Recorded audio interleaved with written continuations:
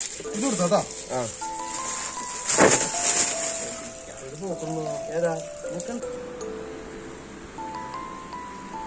ഇന്നിവിടെ ചെയ്യാൻ പോകുന്നത് നെല്ലിക്ക സംഭാരാണ് അപ്പൊ നെല്ലിക്ക സംഭാരത്തിന് നമുക്ക് ആവശ്യമായിട്ട് കുറച്ച് നെല്ലിക്ക വേണം.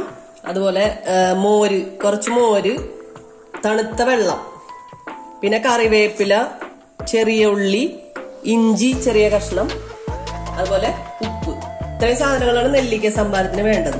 അപ്പൊ നെല്ലിക്ക ഇപ്പൊ സുലഭമായിട്ട് കിട്ടുന്ന സമയമാണ് അപ്പൊ നെല്ലിക്ക സംഭാരം നമുക്ക് ഉണ്ടാക്കി നോക്കാം. അപ്പൊ അതിനായിട്ട് നെല്ലിക്ക കുരു കളഞ്ഞെടുക്കുക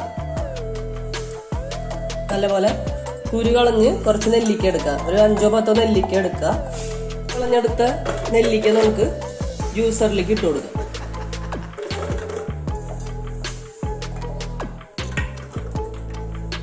ഇതിലേക്ക് നമുക്ക് ഈ രണ്ട് ചെറിയ ഉള്ളി ചെറിയ ഉള്ളി ഇടാം.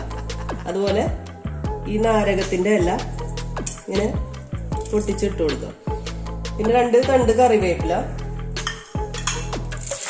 കറിവേപ്പില ഇടാം.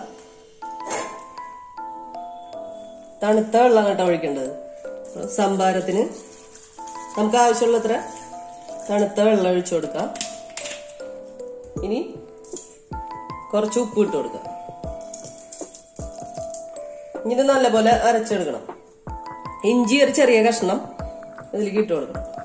ഇഞ്ചി.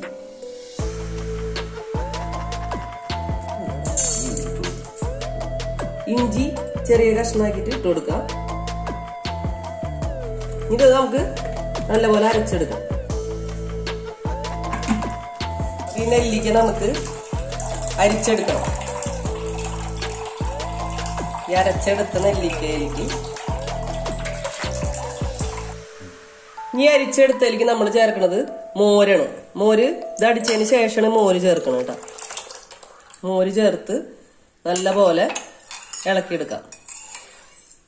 ഇപ്പൊ നമ്മുടെ സംഭാരം റെഡിയായി. ഇത് ദാഹത്തിന് കുടിക്കാൻ നല്ലതാണ്.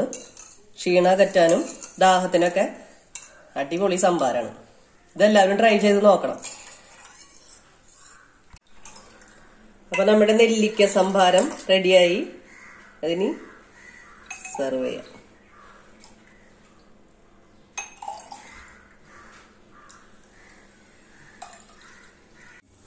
ഫോട്ടോ എടുത്തോ?